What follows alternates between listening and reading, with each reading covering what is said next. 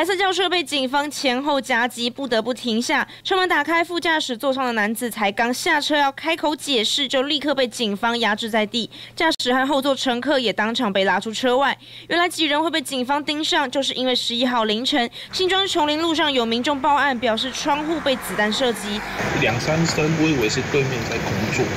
因为因为我们这边哦，常常那个他们在搬东西啊，会有会有那个声音。警方立刻组成专案小组进行追查，锁定涉案车辆后，迅速一小时内在泰山公园路和黎明路口将人逮捕。据了解，疑似是毒品案件纠纷，林姓嫌犯不满被人出卖，找来四名友人到被害人家中开枪恐吓泄愤。现场查获犯嫌五人，并查获 BB 枪两把、震爆枪一把、刀械一批、手机六支，讯后以恐吓毁损罪嫌。移送台湾新北地方警察署侦办。枪声把民众从睡梦中吵醒，幸好不到一小时，五名嫌犯全都落网。警方将持续追查幕后原因。东森新闻廖峰祥，新北报道。